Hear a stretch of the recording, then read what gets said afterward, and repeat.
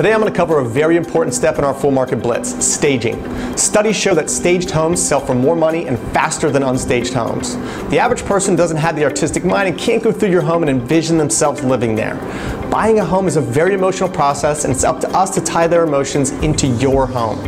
We want them to see themselves living there and we do that through staging. Once you begin working with me, you'll meet with our professional stager. This is at no additional cost to you. She'll walk through your home and give suggestions on how to stage your home to sell for the most amount of money in the least amount of time. 90% of our clients are doing this with their own furniture and just a little decluttering.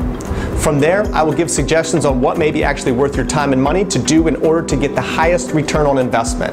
The best part is, all decisions are up to you. If you don't want to stage in the way that we suggest, you don't have to. It's my job as your real estate professional to advise you to put you in a position to make informed decisions. We're here to support you in whichever direction you choose.